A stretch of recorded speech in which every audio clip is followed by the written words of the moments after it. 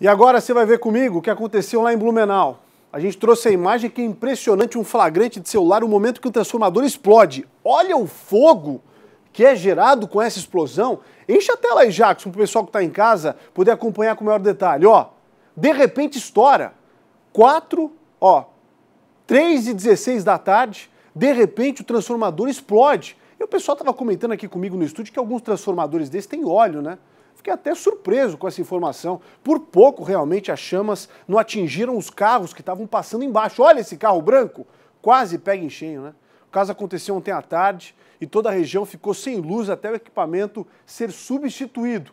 Eu já vi transformadores estourando de perto, mas vi só as faíscas assim sendo lançadas, ou o cabo de energia realmente andando para lá e para cá com uma velocidade por conta da energia ativa. Agora, fogo assim é algo realmente difícil de se presenciar, de gravar então, mas ainda o bom é que a energia foi restabelecida, o transformador foi trocado. Melhor ainda que ninguém se feriu nessa, nessa coisa inusitada que aconteceu em Blumenau.